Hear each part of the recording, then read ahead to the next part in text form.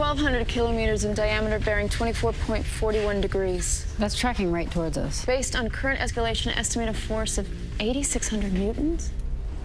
What's the abort force? 7,500. Anything more than that, and the MAV could tip. Begin abort procedure. Let's wait it out. Prep emergency departure. We're scrubbed. That's an order.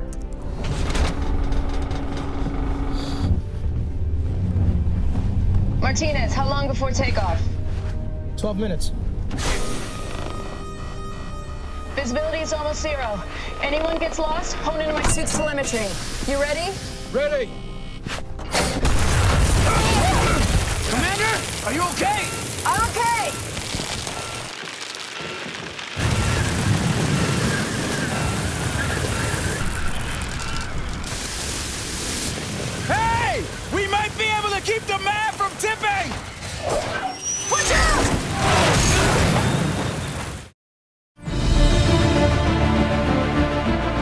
Okay, let's do the math. I gotta figure out how to grow four years worth of food here on a planet where nothing grows. But if I can't figure out a way to make contact with NASA, none of this matters anyway.